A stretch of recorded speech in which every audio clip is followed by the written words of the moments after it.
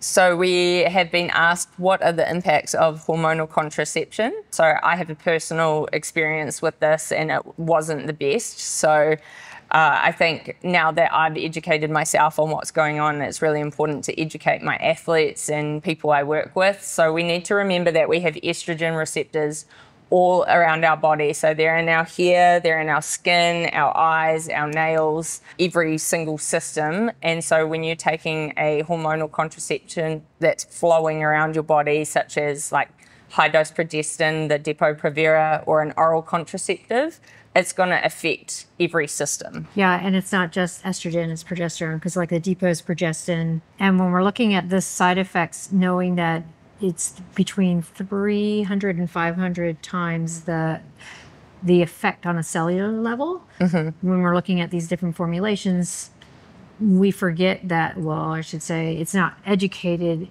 of how it's going to affect no, the body. Not when at all. Looking at hormonal contraception from an oral contraceptive pill, it's down regulating your own endocrine system.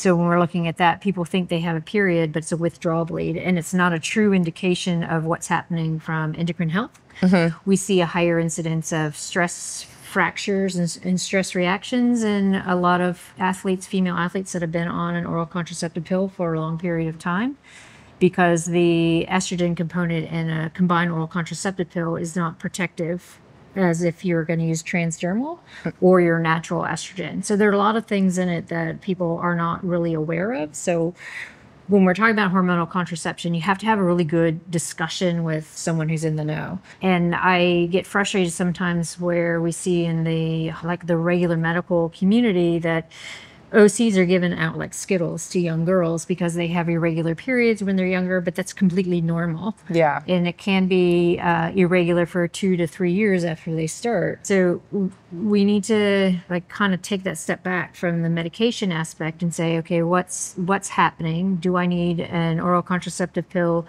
For health reasons. Of course, if you're looking for contraception, that's a completely different story. You have to find out what is the best method for your lifestyle. But when we're talking about other conditions, you have to take a step back because there are different types of HCs that can work for things like endometriosis or PCOS, which is different from someone who might be having some irregular bleed, heavy bleed, or light bleed. So you have to have that discussion with your physician or actually a physician who's in the know to be able to make that choice appropriate for you.